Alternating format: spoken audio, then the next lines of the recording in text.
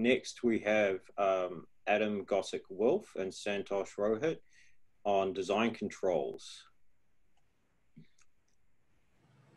Hello. Uh, hey everyone. Hey guys, can you share your slides or? Sure, Yeah. I can do that.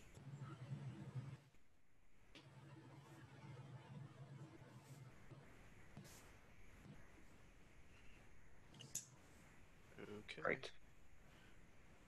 like this. Hopefully everyone can see that. And I, I understand there was a small technical glitch with Pierre's screen, but we will um, we'll be posting all the slides later.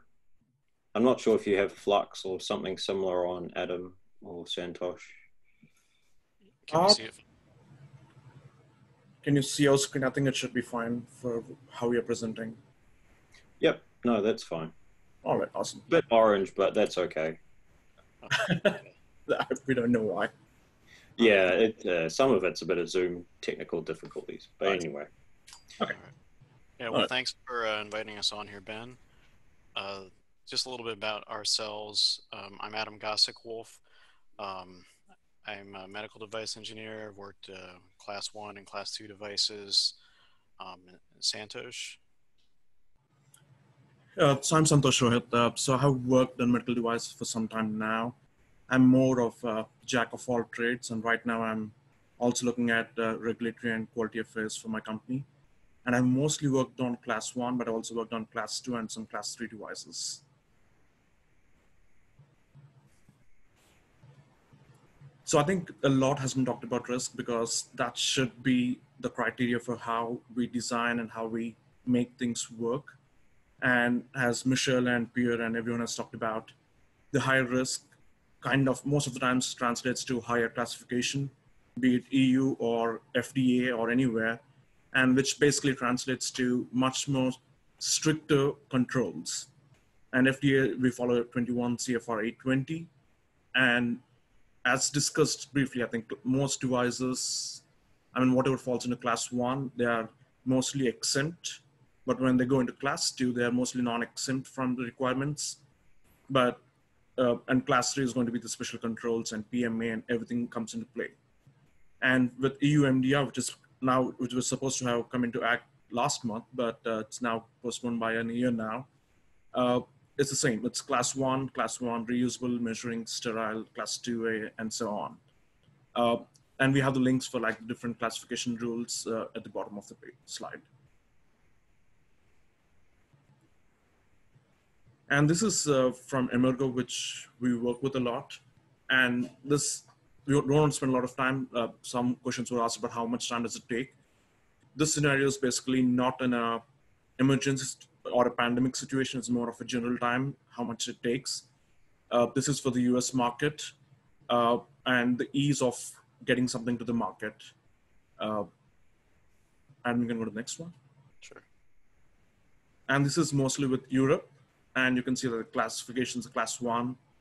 Uh, self-certified is the easiest to get through. You don't need to uh, have a lot of uh, checks. You basically get through with an IFU and uh, everything. I think it's uh, you just go through a notification process where all you need to do is like get a either you are already in EU or you have someone who is going to officially represent you on the EU market, and you go through a notification process.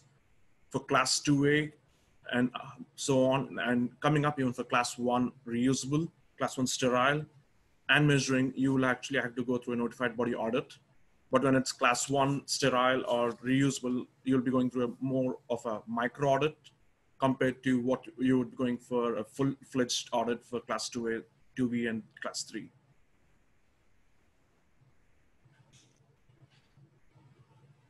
and lot was talked about peer like peer was like mentioning how we need to have like a traceability matrix and risk plays into all of this like starting from user needs to how we define specifications for design inputs and what we call as design outputs going back into how do we accept something as usable or not.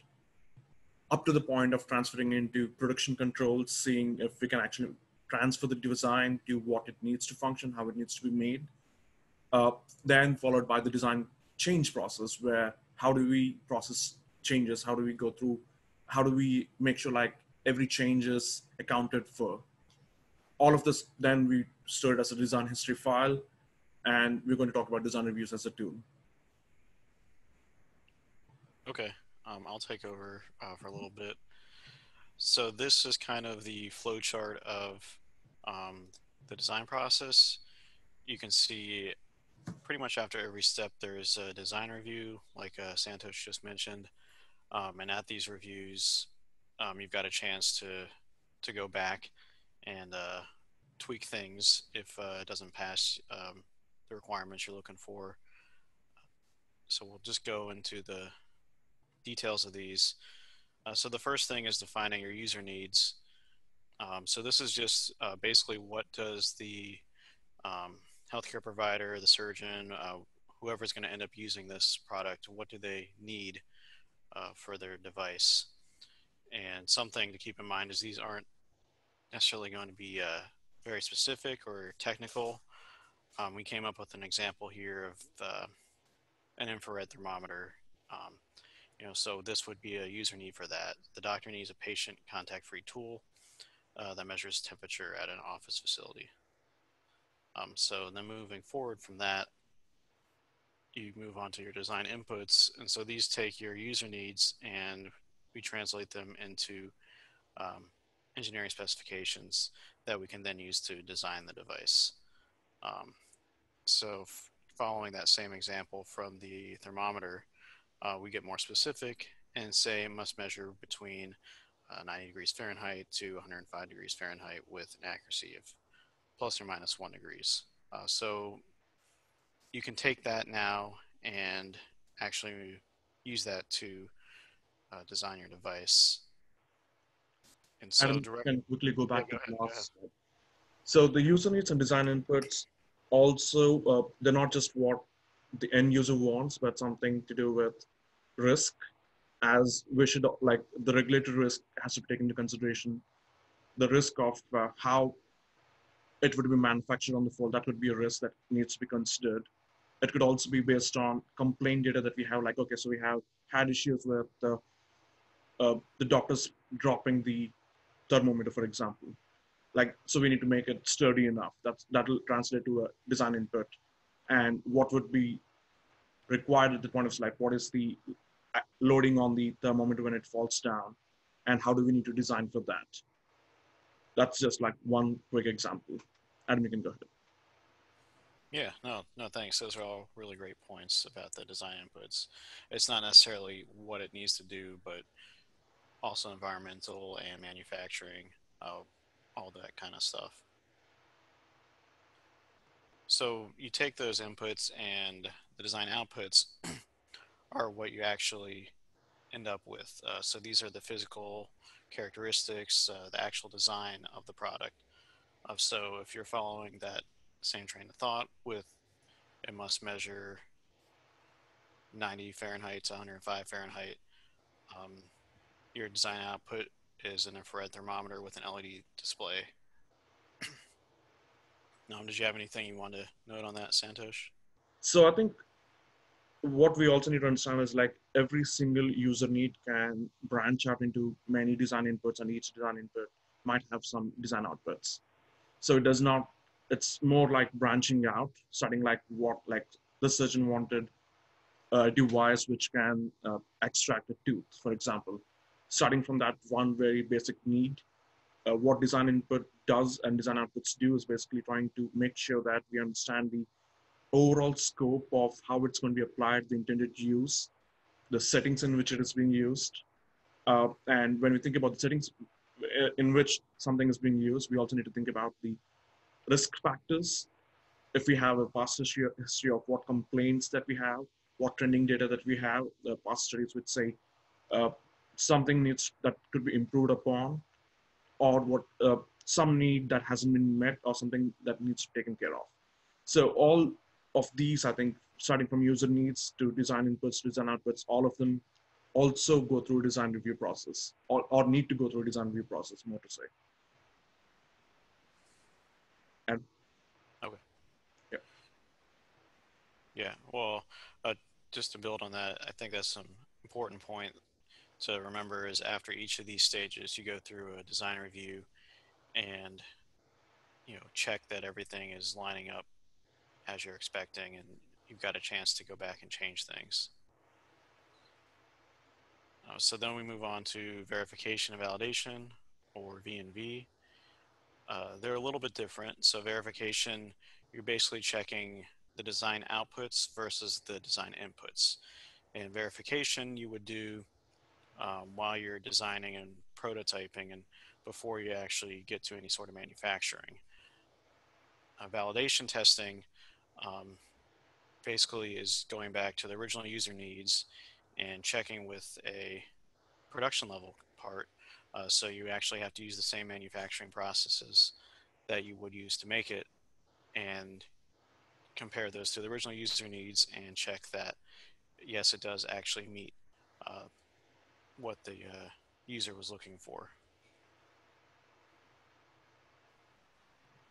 So this is a little bit more of what I was saying. So when you get to validation, you hand it off to manufacturing and you actually build it in the exact same way you would uh, produce it during production. And so that testing could be mechanical testing or it could be an actual clinical trial and get it into the, the hands of the uh, healthcare provider or surgeon, whoever's using it. So the uh, kind of validation testing and uh, verification testing that you do is also dependent on the risk. Uh, if it's a class one device with a lot of history, most of the times you could get away with uh, laboratory testing such as like uh, as simple as uh, tensile testing, or it would be as simple as evaluation would be like calling like three different skill sets, three surgeons or three end users with different skill sets and see if they could use it.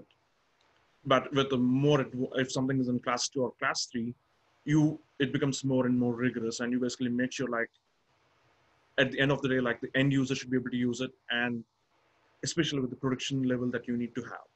And if you can't produce what you envision as a design, then remember that the final user will not be able to use it. So it's important to basically design products which can be manufactured and which can also be tested.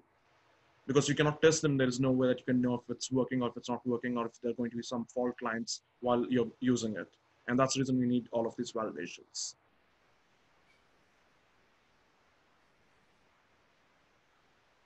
Um, you want to keep going on that?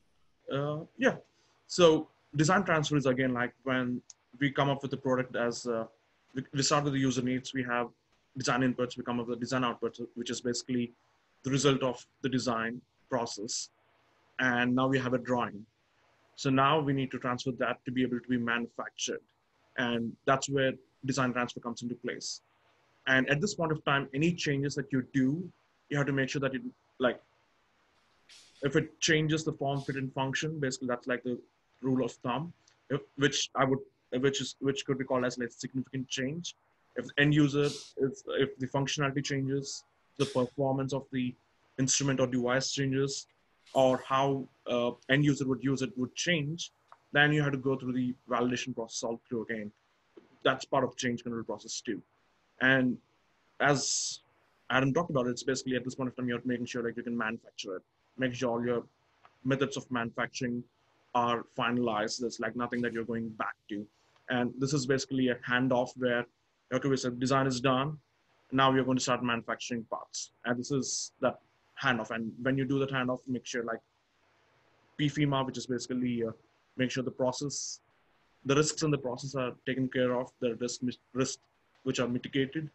And 14971, which was called out by Pierre, is a very good uh, standard. It's very easy to use. It's very good. And the especially the latest one which came out in 2019 December or November is a very good tool that you could use for all of this because any output that you get out of it, if you have not have a control in place, which could be testing, which could be kind of validation that you do, you have to basically, I think all that you do with verification validation is making sure that there are controls. These are the controls which make sure that the device functions as intended at the location it needs to be used.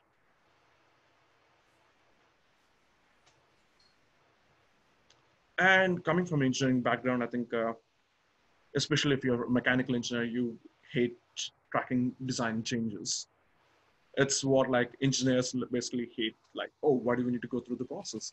But the reason is we need to understand we are in the medical devices field and any change that we do has to be documented.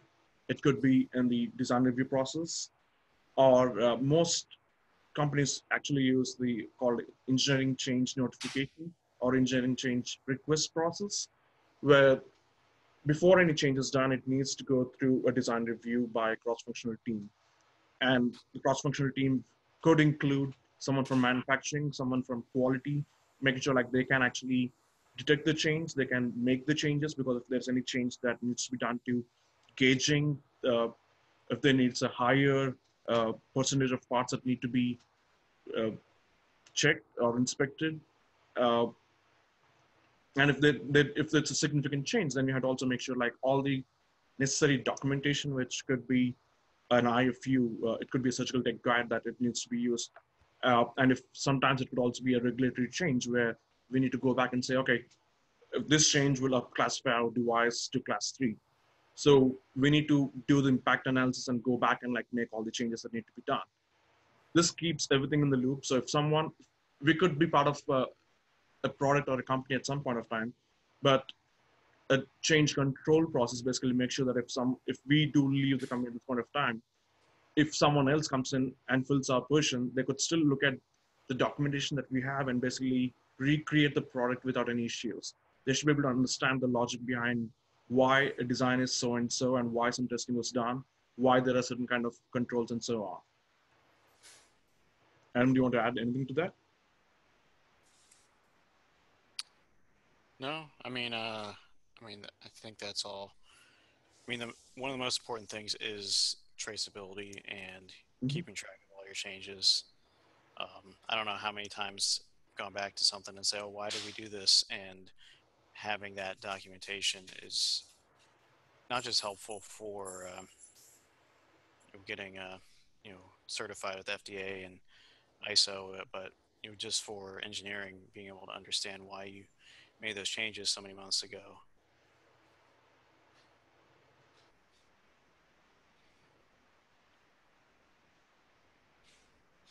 And FDA design controls, I think if there are different forms of design history files that are required by EU or Australian TGA or Canada or all of the other regulatory bodies, but you need to, at the very basic level, need to have this whole set of documents which talk about what, what is the user need, how did you go from user need to actually making it, uh, having a final drawing of the part.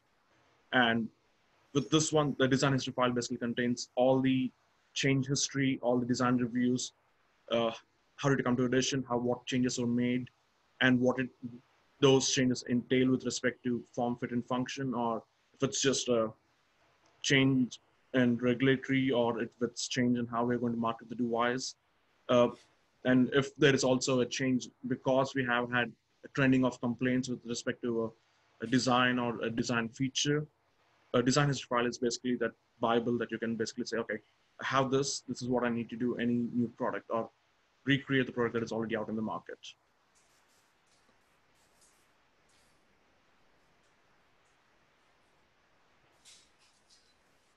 So we have been talking about traceability and this is just like a, I mean, the easiest way to make sure that you have a traceability is use an Excel sheet, a spreadsheet where you have line items starting from user need, which can break down into different design inputs, which can, could be indexed and the, each design input needs to be tied to a design output. And all of like each phase needs to go through design review. So you need to have you could basically have like a simple template which covers all of this starting from user need to design verification validation. And you could also if you want you could include uh, the risk man um, more i mean it's i would recommend that you also have the risk analysis that you have done like it could be the DFMEA or the PFMEA documentation and include that in this particular uh, spreadsheet. This is just uh, what we got from FDA, but you could create your own. The basic idea being there needs to be a chain of, you should be able to recreate the logic why you're doing something and how you make sure like it, it is working or it works. So how do you validate that? Uh, yep. Adam, do you want to add anything to that? Um, yeah, I mean, if you look at this, uh, you said this earlier, but I think it's good to reiterate it, is that a user need can branch off into multiple design inputs, which could be multiple design outputs. You can see the design input here um, has three different outputs. And so I think that's important to remember that um, all those outputs are there to meet those original user needs. So if you were to look look at those, they would connect back to the, that original requirement.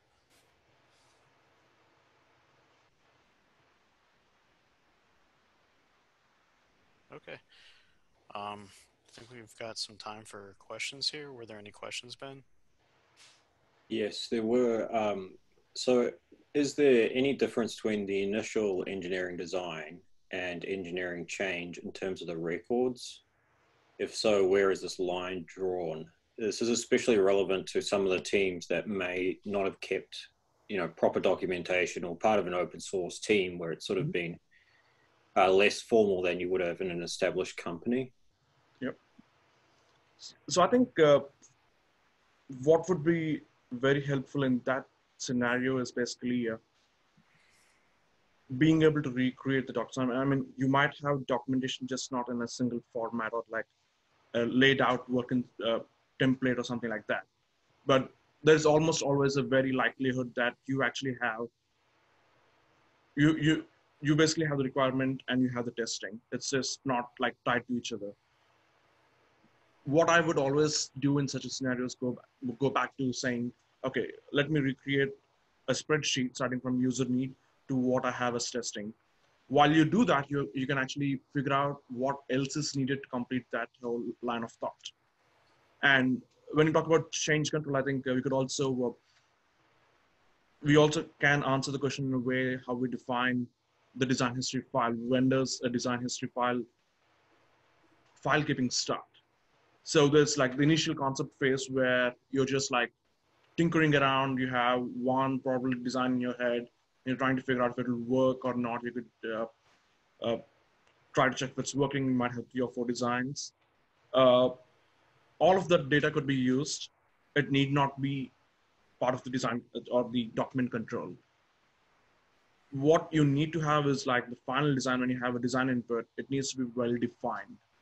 It needs to be unambiguous and it need it should not be open to interpretation because once you have some spec- uh, specification or input well defined you know what is what design output should come out of it or how testing should be done out of it like so when you actually are so by the time you have design input it's part of the change process or when you have a user need which is taken care of and then you have uh, you think you have you're able to define the design input based on the user need and sign off the documents, that is part of like a sealed process. Like if you need to make any changes to that, you go back and go through a review process back again. And when you actually are going back to documents which are already finished or like which you have done in the past, always go back to a spreadsheet and see if you can complete the line of thought. And you could, if you miss something, fill that gap in and like uh, re-review the documents and sign them off at once. Yeah, okay. I want to add a little something to that too. Mm-hmm. Uh, you can use uh, the design reviews as opportunities to uh, document uh, the changes you're, you're, going through and uh, the different um, designs that you've worked on in that uh, process. Mm-hmm. Yeah, because I, I know like a lot of the teams have sort of just been tinkering around and, and fiddling with things to get sort of a version one or an alpha version built. So they may not have had, you know, all the formal process. Um, but if they can go back and document that and then maybe start a very formal process on, like you say, user needs and the inputs and outputs.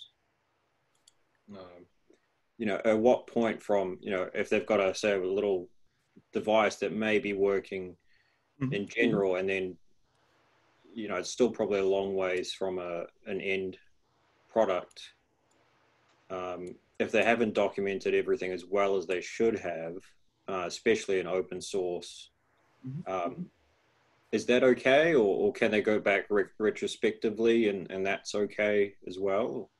Yeah, they could go back because the way that I look at it is, uh, if you do not like when you're tinkering around, it's like it's you're basically working with concepts, Mm. but if you like, if you cannot define or defend why you have certain design, that's a problem, because at that point of time you have something in hand, you know it is working, but you cannot define why it's working and how it's working. So you need to have the minimum documentation or like minimum knowledge to be able to recreate this document saying like, okay, this needs to withstand 500 pounds of force. That's why this was designed. Or this needs to be held by the human, like human factors are taken into consideration to design this handle. So it's thickness of three inches by uh, with a grip for thumb and so on. So,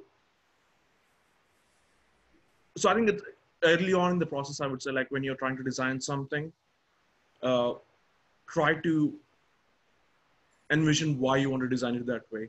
And even if you have scrapped notes, it doesn't matter. You can recreate this document once you get to that phase. The only time it would be very problematic is like you don't do that, and you cannot like before you hand off the project to some person, you don't actually document any of that stuff. Because at the end of the day, before you uh, sign off on the project, you need to be able to sign off all these reviews. And within the review, if it's not a robust review, basically saying, okay, everyone is here, you all agree, and we disperse and sign off the documents, that's a bad review because you're not actually going through if the device is designed as intended, if uh, the testing that has been laid out takes care of that, or the validation takes care of that, uh, or all the risks have been taken care of while designing the input and the product itself. Uh, so again, going back to like make notes as much as possible, even if you're doing off an idea that you have in your head. Try to make sure like if you're not able to go back to say like why you designed something, that's a problem. Always just like even if it's like makes very little sense, put it down and maintain those notes. Yes. Okay, great. Um, so you're talking about signing off. So the last question, and then we'll go to the next speaker. But just talking about signing off um, on on the design reviews, Mhm. particularly on an open source project, the volunteers um, might be quite transient. So they might Mhm. um, might change. What what would be the best way to sort of manage the sign off process in in that manner? I would say I think uh, one I think we should always try to have uh, the qualification of the persons or like the background, like a general uh, note of like what uh, where a person is coming from, what the background is like, and what their role in the team is. So we have that roster, and when we we should still have reviews. It could be unofficial review, but the notes that you take, like everything, like have an agenda of like what you're reviewing, why you're reviewing, and what could be the next phase of that particular idea. Uh, once you have like, uh, always think about how it could be used by the end user when you're having those meetings, and have a few premeditated questions on like, how can I make sure that the quality of the device is there? So, let's say uh, you're having a meeting about brainstorming ideas. So the meeting should be able to at least have notes of the meeting saying that, okay, these are the people who have attended the call. Uh, these are the people who had these ideas and think they should go ahead with this one. And the reasons for that are A, B, and C. And or otherwise, uh, there could be reasons why you would not want to try that idea. So it'll be these are the reasons why we would not do that. Uh, it's always just good to take notes and make sure like you are able to go back to that. The best way to review that is like wait for a day and go back and read those notes and see if you could actually recreate what was discussed. If not, I would say have a re- regroup and have it take it forward. Okay, great. Um, we probably don't have any time for any more questions. Um, I, just some of the ones that were asked. What software workflows, tools? Um, are you largely looking at spreadsheets or do you have a specific tool that you look at? Um, So we have, I mean, Adam and I, we have been using a lot of spreadsheets, and it's very intuitive for us of how we use it. Um, a regular Excel or Google spreadsheet normally work for us. Uh, okay, and just quickly, um, are there any points that we need to know what to defend against So we know what to note in the design history file. I think you touched on a couple of these. Um, just because the speed of development can move so quickly, is there any particular areas you should focus on for FDA? Uh, FDA would always like to know uh, the design features. Like, but as I said, like it could be an ergonomic feature why you design something, or it could be a functionality in the sense like uh, a scalpel needs to be able to cut into uh, cortical bone, for example. I mean, it's normally used for cortical bone, but like a thick tissue. Hmm. So, what would be the energy? What would be the axial loading that particular instrument needs to withstand? So, those specifics were uh, are like always really helpful. And again, tying it back to materials to manufacturing and having that risk mindset while doing all of that and trying to address risk as a part of those questions. Uh, I mean, I would always say like the three ways I could look at risk is one, uh, how will the end user use it? What would be the like uh, ways it could be misused? Second, how could it be uh, manufactured badly? What would be those risk factors? Like it would be like edges or like rounded off cuts or some stuff like that. And use, I mean, those two would take care of most of the things. And the other one is like within review, do you want, uh, or like if they can be verified through any quality processes or not. Okay, great. Um, okay, so I don't think we have any more time there, but thank you so much uh, for your time and your your um, presentation. I think that was very useful to look at the overall process, and I think the takeaway message from these talks is document everything. Mm-hmm. Write everything you do down and make sure that you can always refer back to that and justify your design decisions to whoever's going to be looking at that. Yep. Thank you, uh, Santosh and Adam. Um, hopefully you guys will be available um, through Helpful Engineering Slack or through similar means to for anyone to contact you for any other questions. Um, Absolutely. Thank you so much. So Thank we you. do